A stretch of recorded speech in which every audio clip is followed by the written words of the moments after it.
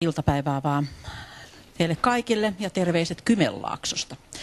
Tota, ää, mä olen, olen tota Kouvolan kaupungilla nykyään töissä, olen siellä vanhuspalveluissa hoitotyön vastaavana, mutta että oikeastaan tämä asia, mistä nyt tänään tulen teille puhumaan, niin, niin tota, liittyy ehkä se tapaturmat hankkeeseen, valtakunnalliseen hankkeeseen, jota tehtiin tuolla Etelä-Kymenlaakson kunnissa.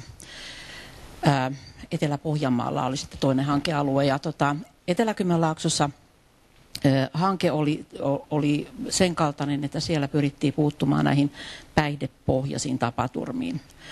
Niin kuin varmaan tiedätte, niin, niin tota, Kymenlaakso on aika mustaa aluetta tuossa päihteiden käytössä ja, ja niihin asioihin pyrittiin silloin puuttumaan. Ja tota, sitten siinä vaiheessa, kun siellä sitä hanketyötä tein, niin tein mun oma gradututkimuksen, joka sitten liittyy näihin tapaturmapotilaisiin.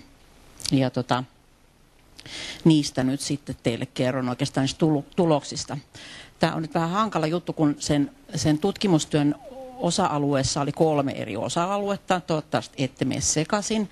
Eli tota, ää, siinä oli semmoinen potilastutkimus, jossa, jossa tota Etelä-Kymenlaakson kuntien no, terveyskeskuksen poliklinikoille ja sitten erikoissairaanhoidon ensiavussa, niin, niin kaikki tapaturmat potilaat puhallutettiin ja, ja tehtiin audit. Ja sitten henkilö, henkilökunnalle tehtiin kysely siitä, että miten heidän mielestä se malli soveltui siihen ja vähän semmoista taustakysymystä muutakin. Ja se ei ole siinä mun gradussa, vaan tota, se on sitten ihan erikseen se kysely. Sitten tehtiin koko Etelä-Kymenlaakson kunnissa, niin tehtiin sitten vielä henkilökunnalle asennekyselyä ja sitten tätä päihdehoitotyön osaamista ja, ja tota, mini-intervention käyttöä, niin siihen liittyvää kysymystä.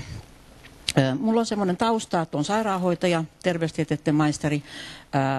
Olen tehnyt paljon päihdetyötä jo silloin aikoinaan Kotkassa, kun työskentelin kotisairaalassa. Meillä oli siellä hyvin paljon tämmöisiä suonen sisäisiä huumeita käyttäviä henkilöitä ja paljon oli päihdeongelmaisia. Sitten pyrin myös kotihoidon henkilökuntaa niin auttamaan näissä ja, ja erinäköisiä kotikäyntejä sitten tein näiden päihdeasiakkaiden luokse. Ja sitten tota, hanketyössä tosiaan kiinnostuin tästä ja oikeastaan niin kuin se kiinnostus itse asiasta näihin asenteisiin lähti jo siellä opiskeluvaiheessa, kun opiskelin sairaanhoitajaksi ja, ja tota, ihmettelin pehmytkudos kirran puolella, kun niitä akuutti haimapotilaita kohdeltiin niin huonosti ja mua kiinnosti ihan hirveästi se, että miksi. Ja, ja tota, sitä halusin silloin sitten yliopistossakin tutkia, mutta sitten siihen tuli näitä tapaturmaelementtejä myös. Mutta että ihan mielenkiintoisia asioita. Ja tosiaan olen myös kuntapäättäjä, että nyt sitten vihdoinkin tänä vuonna, kun valittiin valtuustoon ja pääsin hyvinvointilautakunnan puheenjohtajaksi, niin pääsen vaikuttamaankin näihin asioihin. Että musta tuntuu, että, että tota, viranhaltijana en ole päässyt, että mun ääni piipittää siellä, mutta se ei oikein niin kuulu. Oho, tuolta.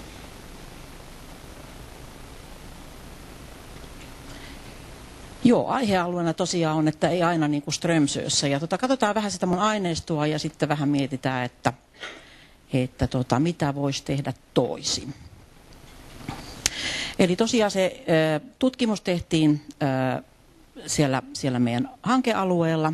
Se potilasaineisto kerättiin huhtikuussa 2011 ja sitten se malli, mitä käytettiin siellä ensiavuissa, oli niin, että hoitohenkilökunta puhallitti kaikki yli 13-vuotiaat tapaturmapotilaat ja heille tehtiin tämä Audit C-kysely. Ja sitten toki niin kun, ä, Audit C tehtiin ainoastaan niille, joille se kyettiin tekemään, että kunto salli. Et meillä oli annettu, mä olin antanut semmoisen ohjeen, että mieluummin täysin niin kuin niille, jotka nollat puhalsivat, mutta toki sitten pystyttiin sitä audittia tekemään, jos se oli jotain nolla 0,3 0,4kin vielä. Et se oli vähän tapauskohtaista, miten sitä arvioitiin. Mutta että en sitä potilastutkimusta lähde nyt käymään läpi. Se voin kertoa, että puolet, puolet tota, noin tapaturman potilaista oli päihtyneenä tämän, tämän tota, noin tutkimuksen ajan. Ja sitten siellä ne promillet oli sit aika hurjia, että ne oli ää, reilut kaksi ja puoli promille oli keskiarvo, että siellä oli sitten niitä ihan ihan ammattilaisia jonkun verran, että semmoisia reilun kolmen promillen puhalluksia jonkun verran tuli. Ja sitten sit vielä lisäksi niin ne puolet, jotka sitten olivat olivat tota noin, niin puhaltaneet sen nollan, niin sitten audit-kyselyssä kuitenkin niin puolet niistä, eli 25 prosenttia, niin oli runsaasti alkoholia käyttäviä. Että, että se kertoisi sitten sen, että kyllä siellä sitten odotetaan kotona siihen seuraavaa päivää ennen kuin hakeudutaan, hakeudutaan hoitoon. Ja usein siinä sitten saattaa olla pelko tai sitten vakuutusasiat tai muut semmoiset, jotka niin kuin aiheuttaa sen, että odotetaan kotona. Tai sitten tietysti se häpeä, mikä meillä, meillä yleensä suomalaisilla tuntuu olevan tuon alkoholin kanssa. Ja sit tosin sitten henkilökunta vielä täytti kaavakkeen, jossa sitten näiden edellä mainittujen tietojen lisäksi kysyttiin tulosyytä ja ikää ja sukupuolta ja sellaista. No se henkilökunnan asennoituminen päihdepotilasta kohtaan sekä päihdeosaamista kartoittava kysely suoritettiin tosiaan koko niin kuin, ää, Kymenlaakson alueella, että, että Pohjois-Kymenlaakson sairaalassa tehtiin tämä sitten myös, että se ei ollut, ei ollut hankealuetta, mutta siellä sitten kyseltiin kanssa. Ja se kysy, kysy, kysely suoritettu touko-kesäkuussa 2011 ja kyselyitä lähetettiin toisata 23 ja kyselyyn vastasi 80 henkilöä. Että, et paperikysely ja olin aika hämmästynyt, että niinkin hyvin saatiin vastauksia. Minusta tuntuu, että, että terveydenhuoltoalan henkilöstö on aika kyllästynyt näihin kyselyihin, kun minusta tuntuu, että niitä tulee koko ajan, mutta, mutta tuohon sai olla kyllä ihan tyytyväinen. No tota, vastaajien taustasta sen verran, että, että 11,5 prosenttia näistä vastaajista oli miehiä ja 88,6 prosenttia naisia, eli pitkälle semmoinen normaali jakautuma tuosta tota, sukupuolitaustasta, mikä henkilöstöllä, hoitohenkilöstöllä on. 80 prosenttia vastaajista oli sairaanhoitajia ja, ja tota 4 prosenttia terveydenhoitajia, 6 lähihoitajaa, 7,5 prosenttia oli jotain muuta ja yleensä ne oli noita lääkintävahtimestareita. Vastaajien keski-ikä oli 44 vuotta ja ammatissa toimimisen aika keskimäärin 17 vuotta. No mitä sieltä sitten niin kun selvisi, niin erikoissairaanhoidossa työskentelevistä 99 prosenttia koki, että alkoholi oli usein osa syynä potilaan hoitoon hakeutumiseen. Eli siellä niin se alkoholi näytteli siinä asiakaskunnassa aika lailla. Muistan, että Kymenlaakson keskussairaalan ensiavun ylilääkäri sanoi mulle, että, että jos hän olisi halunnut niin kuin hoitaa pelkästään päihdeongelmaisia, niin hän olisi hakeutunut suoraan A-klinikalle. Että niin paljon se sillä, sillä, sillä tavalla niin kuin näyttäytyi siellä ensiavussa. No perusterveydenhuollossa oltiin vain niin kuin 17 prosentin edestä niin sitä mieltä. Ja sitten mulla niin kuin nousi kysymys, että onko se sitten niin, että ne päihtyneet hakeutuu enemmän sinne erikoissairaanhoidon piiriin vai onko se sitten vaan niin kuin sen hetkinen tutkimustulos. Toki niin kuin, kun katsottiin sitä, sitä aikaa, milloin ne asiakkaat sinne hakeutuja, että milloin ne, milloin ne asiakkaat tai potilaat oli sitten päihtyneenä, niin yöaikan ei tainnut tulla yhtä ainutta niin kuin nollaa puhaltavaa asiakasta, että kyllä ne niin kuin sinne yöaikaan aika lailla sitten ne päihtyneet, niin, niin näkyykin siellä sitten siellä erikoissairaanhoidossa. no tota, sitten kysyttiin sitä mielekkyyttä erikoissairaanhoidosta, vain 40 prosenttia hoitajista koki mielekkääksi kysyä asiakkaalta alkoholin kulutuksesta ja juomatavoista. Eli yli 50 prosenttia ei kokenut mielekkääksi. Ja tota, se oli omalla tavallaan niin kuin kertoi sitä karua kertomaan siitä, että, että minkälainen se työ siellä erikoissairaanhoidossa on. Et just tässä kun tuli sit kyse siitä, sinä esitit sen, että, että kymmenettä kertaa tulee se sama, niin onhan se ihan selvää, että jos, sit, jos se asiakas tulee ja tulee aina vaan uudestaan ja uudestaan ja aina vaan se tilanne on sama, niin kyllähän se niin kuin ehkä, ehkä niin kuin jo kyllästyttääkin. Mutta sitten taas se ehkä se kysymys siitä, että on aika surullista, että ihminen on vaikka pyörin 30 vuotta meidän palveluissa ja, ja sitten niin kuin missään kohtaa häneltä ei välttämättä ole edes kysytty tai niin kuin edes niin kuin autattu siinä alkoholiongelmassa. Että tein yliopistoaikoina, niin tein, tein semmoisen jonkun pienen opinnäytetyön selviämisasemista ja, ja tota, tutkin eri selviämisasemien ää, asiakkaiden kokemuksia ja, ja kyllä siellä niin kuin selkeästi tuli se, että, että he koki, että selviämisasemalla tai tai A-klinikan palveluissa, niin heitä kohdeltiin ihmisenä, että heidät kohdattiin niin kuin samanveroisena kuin muutkin, muutkin asiakkaat, että, että katsottiin silmiin ja, ja puhuteltiin ja jopa, jopa olivat jossain paikkaa kätelleet. Ja tällaista samanlaista kokemusta he ei, ei, ei saaneet koskaan niin kuin siellä terveydenhuollon palveluissa. No perusterveydenhuollon vastaavista, vastaajista niin 60 prosenttia koki mielekkääksi. Mutta sitten taas nyt täytyy ottaa huomioon, että se työ on hyvin erilaista siellä perusterveydenhuollon puolella. Että ehkä siihen asiakaskontaktiin ja siihen, siihen niin kuin keskusteluun on enemmän aikaa. No sitten 22 prosenttia erikoissairaanhoidon henkilökunnasta koki, että alkoholin käytöstä kysyminen on ihmisen yksityisasioihin puuttumista. Perusterveydenhuollossa vastaava prosentti oli 14,5. Mutta sitten mietin sitä, että eikö ne kaikki muutkin ole aika henkilökohtaisia, että eikö se verenpaineen niin kuin ottaminen on aika henkilökohtaista. Tai että jos me kysytään vaikka vatsan toiminnasta, niin se se vasta henkilökohtaista onkin. Että et tavallaan niin kuin se, että mikä sitten, niin kuin, mikä sitten on sitä, sitä asiaa, mitä, mitä niin henkilökunta saa kysyä siltä asiakkaalta – ettei se olisi henkilökohtaista. Et jollain tavalla minusta niin kaikki, mikä, mikä niin kuin liittyy siihen ihmiseen, niin on aika henkilökohtaista. Hänen, hänen tota, sen hetkiseen tilanteeseensa. Erikoissairaanhoidossa työskentelevistä henkilöistä kolmannes ei tuntenut mini-interventiotermiä. Ja tässä oli selkeästi näkyvissä se, että mitä, mitä kauemmin aikaa on toiminut työssä ja mitä niin kuin enemmän ikää, niin sitä huonommin tunsi. Et ehkä se voi sitten kertoa sen, että, että nykyään meidän koulussa sitten kuitenkin opetetaan sitä, että mitä se mini-interventio tarkoittaa. Öö,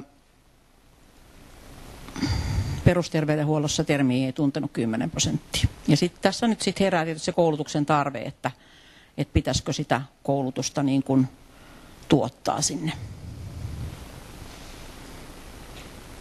No osaamisen, osaaminen ja vaikuttaminen, noin 68 prosenttia erikoissairaanhoidon henkilökunnasta koki, että osaavansa ottaa päihdeongelmat puheeksi. Perusterveydenhuollossa tämä prosentti oli 45. Mutta sitten taas, että onko tässä ristiriitaa, että osaa kyllä, mutta ei välttämättä koe sitä tarpeelliseksi tai ei ota puheeksi. Ja erikoissairaanhoidosta vain 27 prosenttia pystyy, uskoo pystyvänsä vaikuttaa potilaiden juomiseen perusterveydenhuollossa vastaava prosentti oli 50, että sekin tietysti kertoo siitä, että jos ei mulla ole uskoa siitä, että me pystyn vaikuttamaan sen, sen tota noin, meidän potilaan tai asiakkaan tilanteeseen, niin, niin tota, ehkä me ei sitten oteta puheeksi niin helposti. Ja samoin 73 prosenttia erikoissairaanhoidon vastaajista koki, että, että, että mini-interventiolla ei voida vaikuttaa siihen sen potilaan juomakäyttäytymiseen perusterveydenhuollossa oli suunnilleen 50-50, että 50. Ja sama, sama kysymys nousi tässä, että otetaanko puheeksi, jos ei uskota, uskota siihen hyötyyn. No sitten tota, potilaiden suhtautuminen palveluiden käyttöön, niin 21 prosenttia perusterveydenhuollon vastaajista kertoo potilaan suhtautuvan kielteisesti alkoholin käytön puheeksiottoon erikoissairaanhoidossa 27 prosenttia. Nyt tässä on nyt tämä eri kohderyhmä, kun tuossa sitten tuossa tota noin eteenpäin diassa tulee, tulee tota noin eri kysymys, niin siinä on eri, sen takia eri tämä prosentuaalinen ö, määrä, koska tota, siinä on eri kohderyhmää. Tämä on tehty siis koko Kymenlaaksossa. No 92 prosenttia erikoissairaanhoidon vastaajista koki, että alkoholin suurkuluttajat käyttävät terveyspalveluja enemmän kuin muut potilaat. Perusterveydenhuollossa tämä oli 55 prosenttia. Eli, eli kun ilmeisesti vaan ne ihmiset, kun ne pyörii niissä samoissa palveluissa, niin sitten se tulee se kokemus, että, että he käyttävät niitä palveluja enemmän kuin muut. No sitten on vielä tämä, tämä loppuosio.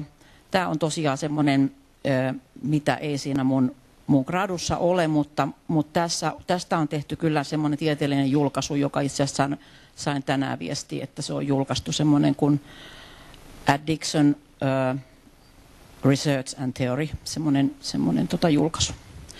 Ja se on, se on kirjoitettu Katariina Varpienius on siinä ollut pääkirjoittajana ja sitten minä ja tota Maria Holmila täältä THLstä. Eli erikoissairaanhoidon henkilökunnasta lähes kolmannes kertoo, että ei käyttänyt auditsien lomaketta seurantajakson aikana. vastaavasti sitten terveysasemilla niin kaikki ilmoitti käyttäneensä lomaketta seurantajaksolla.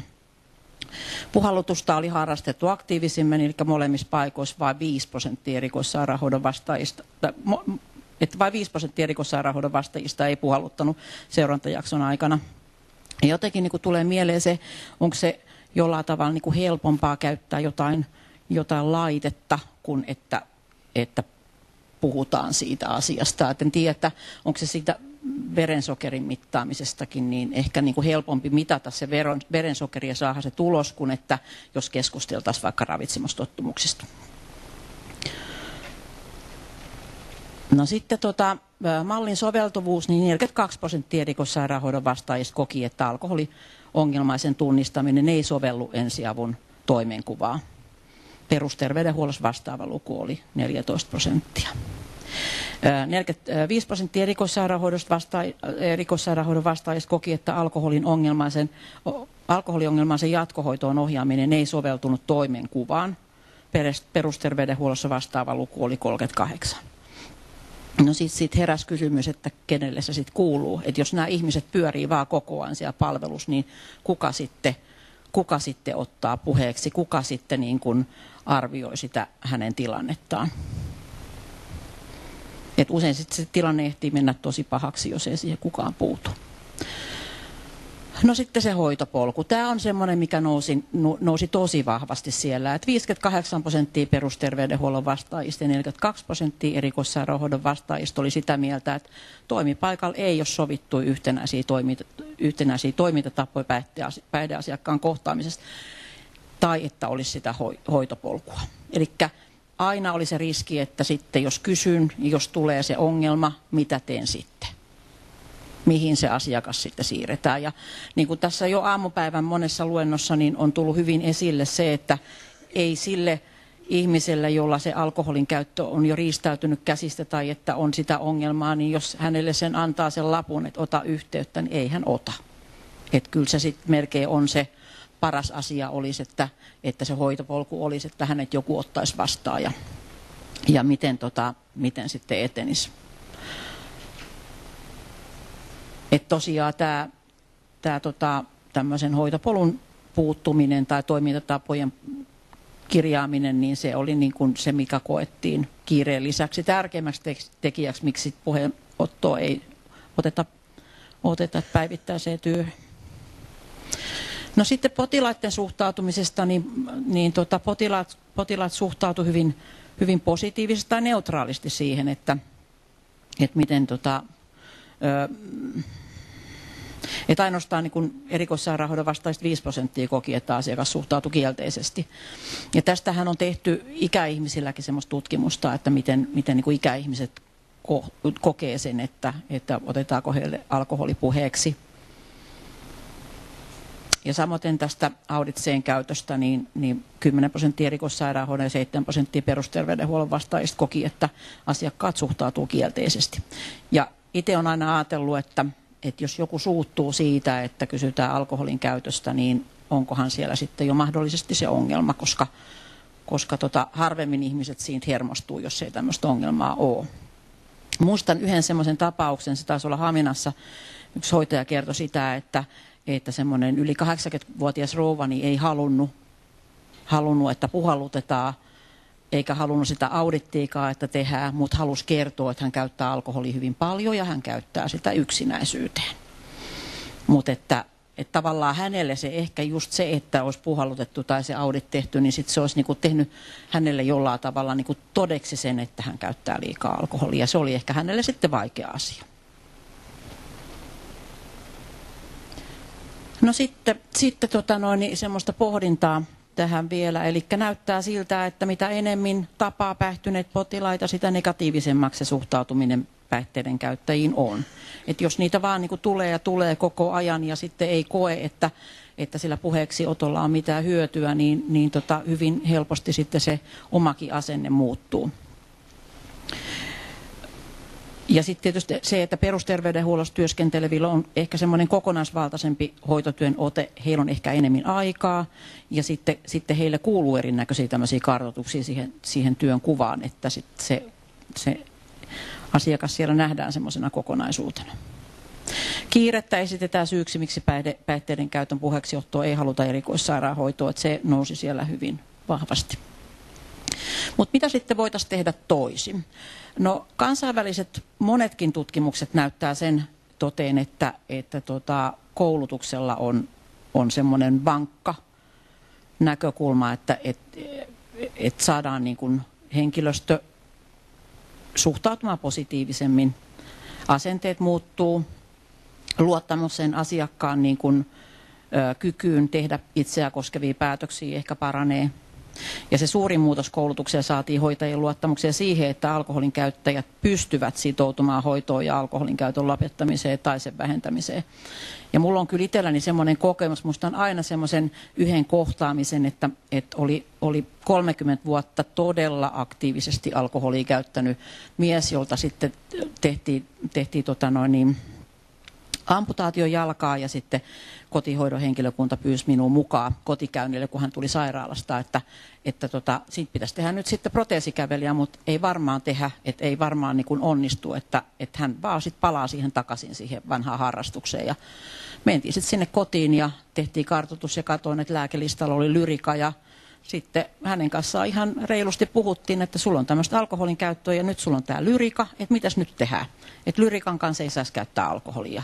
Ja sitten sit, sit, tota, annoin hänelle vaihtoehdot, että, että joko sitten jatkat sitä, sitä vanhaa toimintatapaasta ja, ja tota, sit mahdollisesti tulet saamaan kovia kipuja tai sitten, tota, sitten yrität olla raittiina ja, ja pystyt käyttämään tätä lyrikaakin ihan päivittäin ja, ja tota, hän lopetti sen alkoholin käytön. Hän oli yksi ainut semmoinen pikkunen keskiolut hairahdus, joka oli hyvin pieni ja nyt on ollut useamman vuoden täysin täysin raittiina. Että se oli ehkä hänellä sitten se, se semmoinen pohja, pohjakosketus, kun toinen, toinen alaraaje joutui leikkauspöydälle. No sitten tota, kun kaikilta kysytään, niin asiakkaat ei koe eriarvoisuutta. Tämä on sellainen asia, mitä usein kuulee sanottavan, että et, et ehkä et vain niin tietyiltä kysytään, niin sitten tulee semmoinen, että ahaa, että näytänkö minä siltä, että minä käytän alkoholia että siinä tulee se semmoinen huono olo. Mutta jos me kysytään kaikilta, niin ei me eri arvosteta ketään. Sitten sit mun mielestä niin se ajatus siitä, että se puhallus, vaikka se nyt olisi ehkä helpompi tehdä, mutta se kertoo vaan sen hetkisen tilanteen. Se voi olla sen ihmisen vaikka elämän ensimmäinen kerta, kun se on käyttänyt alkoholia, eikä välttämättä käytä enää ikinä. Ja sitten hänelle tulee se merkintä siitä. Mutta sitten jos tehdään audit, niin siinähän selviää sit se alkoholin käyttö. Eli se audit kuitenkin kertoo siitä pide, pidemmältä ajalta sen alkoholin käytön. No kiire, sitä on puhuttu, mutta tota, voisiko päivystyksessä kehittää päihdehoitajamallia, koska tota, onhan me kaikkia muitakin. Meillä on, meillä on diabeteshoitajia, meillä on astmahoitajia, miksei sitten niinku päihdehoitaja voisi olla, joka voisi ottaa kopin sit siitä asiakkaasta ja hänellä olisi sitten nimenomaan niinku sitä osaamista ja osaisi myös niin kuin, pystyisi vaikka vähän seuraamaan sitten sen asiakkaan tilannetta sen jälkeen. Ja sitten se hoitopolku pitäisi ehdottomasti saada kuntoon siellä työpisteessä, että, että hoitohenkilökunnan on sitten helppo tehdä näitä kysymyksiä ja, ja tietää sitten, että miten se asiakas liikkuu siellä palveluissa.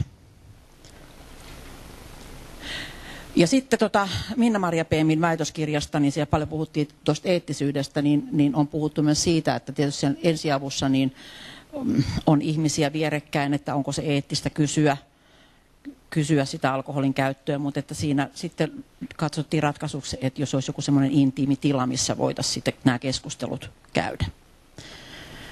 Hyvä. Tuossa on lähteitä ja kiitoksia. Taisi mennä aika vähän yli. Ja sitten jos on jotain kysymyksiä, niin vielä voi vastata. Minä lähden kohta tuonne junalle, että eihin takaisin sinne Kymenlaaksoon. Kiitos Anne. Onko Annelle kysymyksiä? Tämä asenne on kyllä tosi, tosi tärkeä ja se olisi tärkeää saada kuntoon, niin kuin tuli tuossa edellisessäkin, niin kunnioittava ja asiallinen suhtautuminen, tasavertainen suhtautuminen. Mä itse olin muutama viikko sitten niin mukana sellaisten niin kuin päihdeäitien tai päihdeperheiden hoito jossa on pieniä lapsia, niin hoitoyksiköiden sisäisessä arvioinnissa, auditoinnissa ja tuota, siinä, siihen osallistui myöskin asiakkaita. Ja, ja tuota, tämä välittyi heiltä, että tuota, he ei ole oikein missään muualla kokenut sitä kunnioittavaa tasa-arvoista suhtautumista ja se näytti tuota, se on, se on asiakkaille näytti olevan todella, todella tärkeää. Että ei sitä hoi, mm, parantumista pääse, pääse tapahtumaan eikä sitä, sitä oikeanlaista suhdetta, jolle ei ole se tasavertainen arvostava suhtautuminen ja asenne. Ja, ja tässä on noussut esiin myöskin niin tämä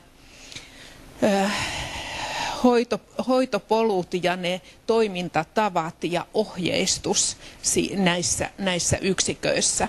Ja se tietysti lähtee myöskin sieltä johdosta, että, että, että pitää taata, että nämä, nämä on hyvä.